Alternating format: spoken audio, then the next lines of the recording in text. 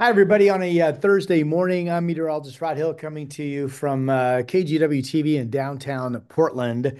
And we have ourselves an atmospheric river. One of my coworkers said to me this morning, Rod, you don't use that term a lot.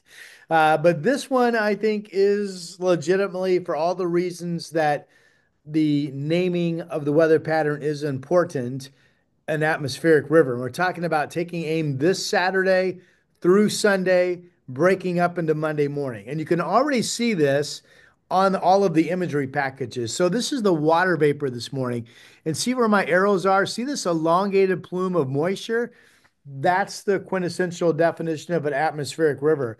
This is absolutely being driven by the jet stream and taking aim into the Pacific Northwest with the heavier moisture plumes and rain with it taking place Saturday daytime, again through Sunday into Monday morning. So it's about a two, two and a half day event, uh, depending on what the actual timing ends up being. These atmospheric rivers, because they come from somewhat of a tropical setting, bringing moisture up from the south. Here's Hawaii.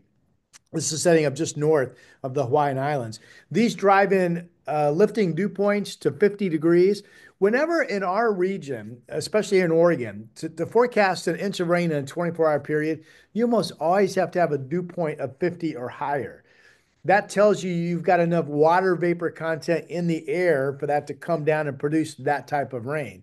And we're talking about, you know, Saturday, Sunday, and Monday of just constant rain streaming into our area, which will come with high snow levels. So here's a snow level projection 5,000 feet on Friday, and then the moisture that we're talking about tracks in on Saturday and Sunday. Snow levels all the way to 7,000 feet and maybe higher. What does this mean? It means it's going to be all nothing but straight rain over Cascade Passes. It means it would be just straight rain at Timberline Lodge on Mount Hood up at 6,000 feet. And then as the system starts to break up on Monday, snow levels come down. And before you think, okay, that's easy travel, the roadways won't have any snow and ice, and they will not. But remember, you get up into the mountains, you often encounter even heavier rain rates than you saw down in the lower elevations. And that can be an incredible driving hazard all in its own right. So uh, keep that in mind. I don't think any of this is coming in with any uh, alarming wind so to speak, but the rain is going to be something else. So, all of this brought to you by the Momentous Wealth podcast. Listen on Apple Podcasts, listen on Spotify.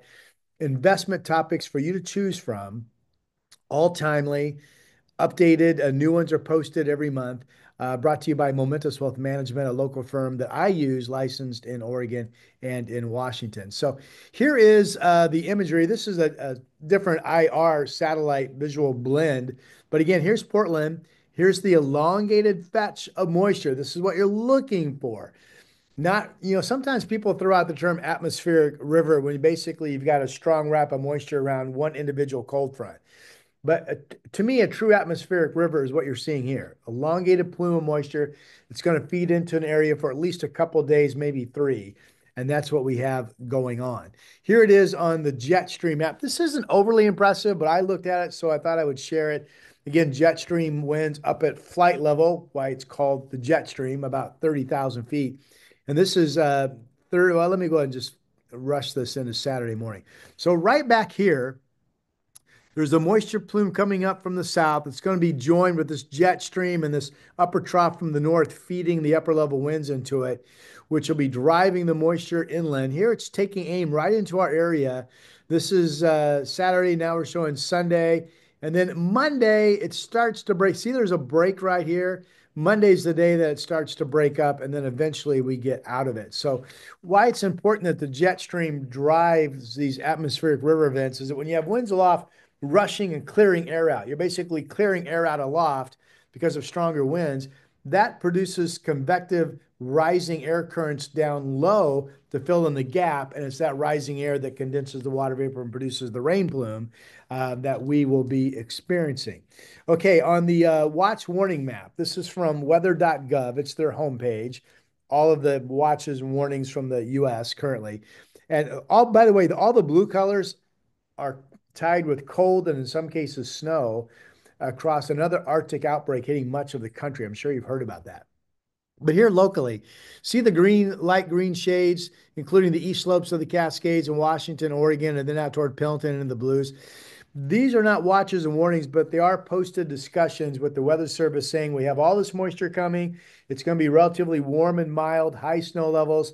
So we'll be on guard for uh, snow melt, pushing water into streams, and then, of course, the rain itself. So high water spots statewide absolutely could become a hazard as we track all this rain coming into the weekend.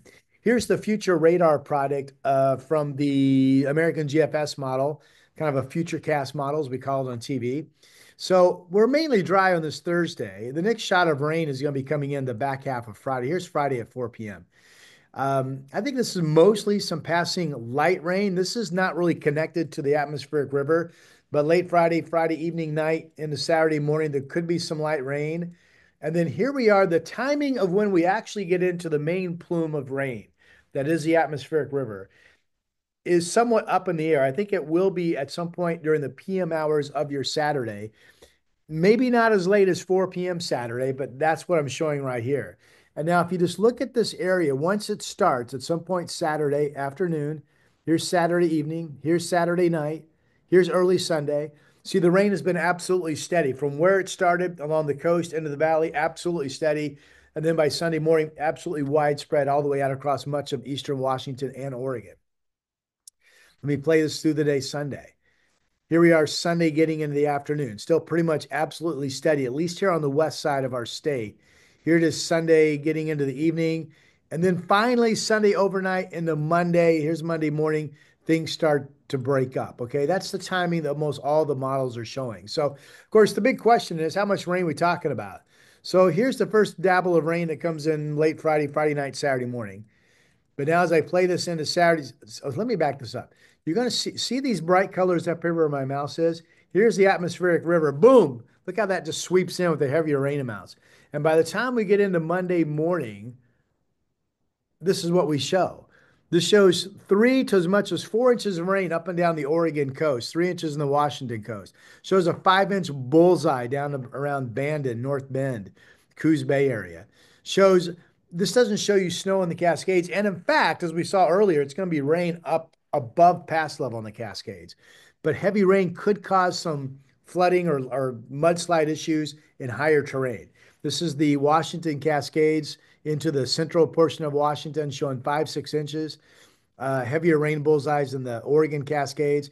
It shows the Willamette Valley from Kelso Longview picking up three inches to well over two in Portland, Salem, Albany, down into Eugene. I like these moisture amounts. This is the American GFS model. You can make the case that these are underdone, not overdone.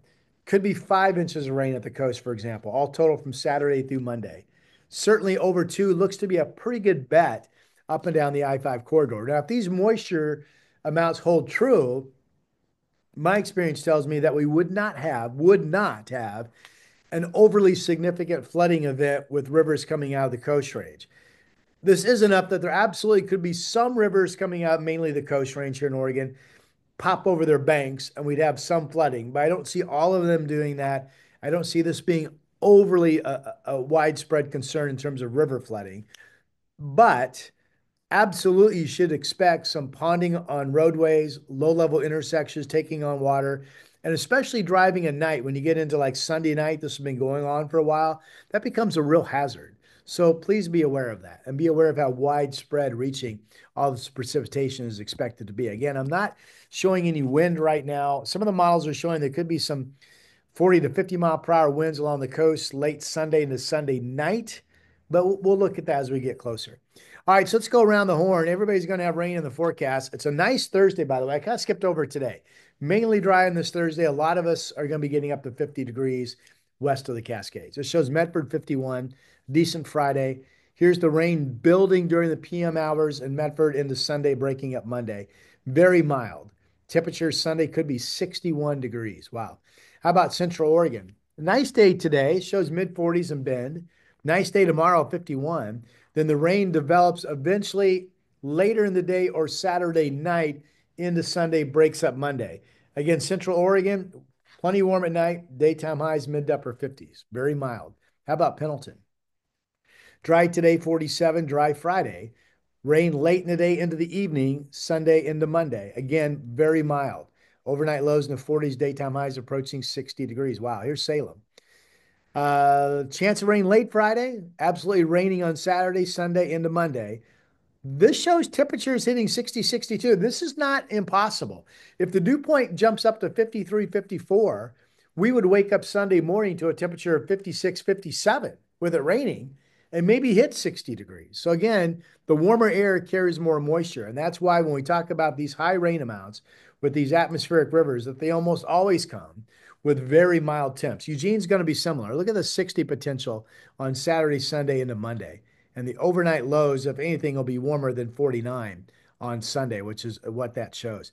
North Bend, remember we had the four or five inch rain bullseyes down in this area with the rain getting going Saturday, Sunday into Monday. And again, pretty mild. Temperatures about 60 degrees for a high. That story is going to be just as wet, just not quite as warm, but 57 on Sunday into Monday. All right. Up in Seattle, you've got a better chance of rain up here being more substantial Friday and absolutely right in the get go from Saturday into Monday. But even up in Seattle, we're talking mid 50s, overnight lows well up into the 40s. I hope you get this point. High snow levels, drenching rainfall for hours and hours and hours. And with all that said, here's my Portland seven day forecast, courtesy of Hazel Dell Tire Pros uh, in Vancouver off of Highway 99. Need some good tires when you're driving in the rain, no doubt about it. 54 this afternoon, really nice, not much wind. Tomorrow, dry start. A lot of you will be in the 30s tomorrow morning, somewhere this morning in the Willamette Valley. Uh, depending on when the clouds really thicken up, we may or may not get as warm as 54. And then later in the day, in the evening, that chance of rain. Uh, could be light rain Saturday, but then the main atmospheric river event at some point, and I'm not sure when, at some point during the PM hours of Saturday. I really do think it takes hold in the daylight hours of Saturday afternoon and then breaks up Monday. Monday is a bit of a question in terms of how much does the rain break up. But in terms of a 24 hour period, Sunday is the bullseye of the heaviest rain. In terms of water hazards on roadways, et cetera, and rising river level concerns, especially coast range waterways, Sunday night into Monday is the bullseye of concern. And then look on the back half of this. Tuesday could be dry, maybe. Wednesday, right now, mostly sunny. And the mild air stays in place, and we could hit 60. That's your update. Lots to, to uh, give you uh, updates on as we track this atmospheric river, which is expected to start on Saturday. If you haven't subscribed, please do so. It helps me out. You'll be um, notified if you have your notifications turned on when I post. For now, I'm meteorologist Rod Hill.